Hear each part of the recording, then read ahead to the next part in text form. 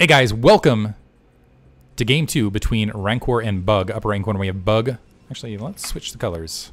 Nope, we're gonna keep them the colors they were. Upper right corner we have Bug starting as the blue Protoss. Bottom right corner we have Rancor starting as the red Zerg. Game one going to Rancor in a commanding fashion just because of build order loss. Bug maybe feeling a little bit intimidated in the matchup because calling Ling strong because he did end up losing the first series. So perhaps he was looking to try to sneak some sort of advantage. And then after that, just getting, yeah. I'm not sure if if Rancor was like, okay, I know that Bug likes playing cheesy, or if he was just like, you know what, I'm going to open up 9 pool to avoid.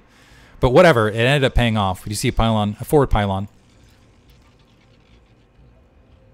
Here for Bug this time, and I'm wondering if he's going to opt for Forge first after what happened last match. This time we're seeing an Overlord opener for Rancor.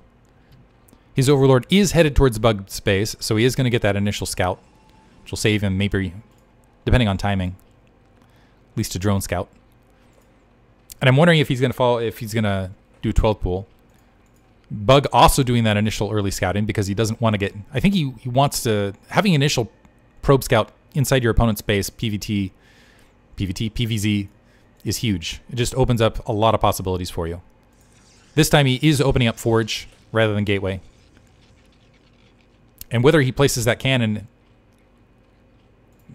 Really, he should place that cannon after game one, but it looks like he does want to get that additional probe scout. He still wants to know what he's up against as far as decision-making Nexus versus Cannon to start. Spawning pool about halfway finished. This was an overpool probe moving out to that natural expansion to go ahead and plop down. Once this probe gets in here, looking at the timing, you can kind of tell by like the morph status of the hatchery as to when it was placed, because usually it'll be like the bigger thing, I believe, on a 12 hatch. So, but point being, he should be able to wander down, plop that cannon immediately. Yep. Has that cannon, is going to follow this up with the Nexus of his own, and should be safe. So at least this time we are not going to see just a straight obliteration. Only a pair of Zerglings being built by Rancor. Probe at least able to get some initial damage and get that early scouting information. Overlord hovering over Bug's natural expansion. So scouting information, slight scouting information advantage for Rancor, at least in the aspect that he doesn't need to send that drone out. Probe hovering nearby to do the follow-up. Extractor now up for Bug. And we'll see that. So just standard early game. Gateway to seal this off on the front.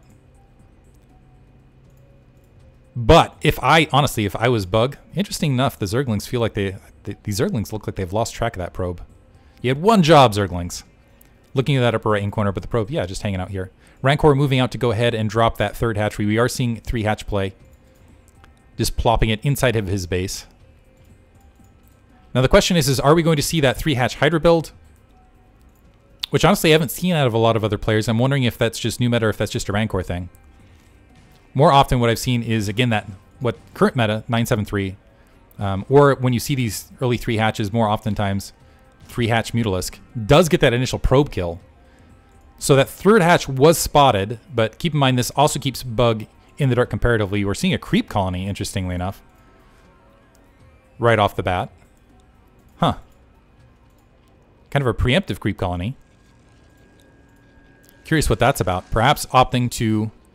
So he's Going Hydrastun, he just wants to deny the information, I believe. So getting a creep colony down, I think this is mostly just so he doesn't have to expend additional units to just deny that scout. He wants to keep Bug in the dark. Which suggests to me that potentially, I don't know, potentially we're going to see a bust situation. Probe gets wiped out, does see that third hatchery on that front door, is getting his first zealot out initially. Second cannon plopping down. We do see that cybernetics core up. Now, I believe it's going to be critical for Bug here to go ahead and get that Stargate, go ahead and get that Corsair. He is starting to move forward with that Zealot. I'm wondering if he's just going to shove the Zealot in to try to get eyes in this base. And if he's going to want to try to spot a Hydralisk. Hydralisk speed is upgrading, so it looks like it is going to be 3-hatch Hydra, similar build to the first match. Second gas being grabbed from Bug, so he's going to go... No, skipping. Citadel of Adun, no Stargate, wants to just move into Templar tech as far as a follow-up. The Zealot just running across, now backing off. it's going to get wiped out by those Zerglings. I think he was hoping to see a lair there potentially, or at least some tier 2 units potentially. Otherwise, I'm a little confused as far as that Zealot's purpose and the angle it took. Maybe just a little bit of mismicro there on Bug's part. The Zerglings being led off, at least out of position, and he's at least able to check that third base to see if there was a, a fourth hatchery taken. But in the interim, now a Stargate being dropped. Interesting. Yeah, because of that lack of scout, so I believe that Zealot, yeah, was there to try to check for a scout. Now he feels a little bit less comfortable as far as what's going on. So dropping a preventative cannon just in case there were Mutalisks in his front. Range is being upgraded, so this is going to be either Hydralisk contain or Hydralisk all in off three bases. Stargate will be up momentarily to get that Corsair, but by that time the Corsair is floating out there, I believe we're already going to see Hydralisks that are sitting on this front door. Zealot leg speed being upgraded. So Bug trying to shift this back, and it feels like I, th I, think he wants to shift this back and towards more of like a, a plus one seven minute timing. But th with the zealots that he's produced at this stage, he just doesn't have, and also the damage he's taken on the zealots he, he has currently, he's just really going to be pinned in. So honestly, I feel like this is very much going into Rancor's favor one direction or another, although losing two Zerglings there initially on the front, taking a little bit of damage on that third. Now the Hydralisk grouping in. Corsair is moving across just in time to see those Hydralisks. Zealot's getting picked off. And I don't think that Rancor has enough to defend this. He needs to drop cannons now and pull probes, and I think it might be too late. It is too late. Hydralisk pulling back to do additional damage against these probes. The cannon's actually canceled. And I is this just Bug resigned to his fate? Yeah, just giving up.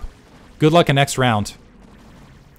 So I gotta say, well played on Rancor's part, specifically denying information to Bug, keeping Bug in the dark feel like Bug made a large mistake going for that Citadel of Adun before Stargate, and also just yeah trying to use that first Zealot to get the scouting information that he was missing otherwise. So game, so quick two matches. Hope you guys enjoyed it. Congratulations to to Rancor. He will move on to the round of eight. Thanks for listening.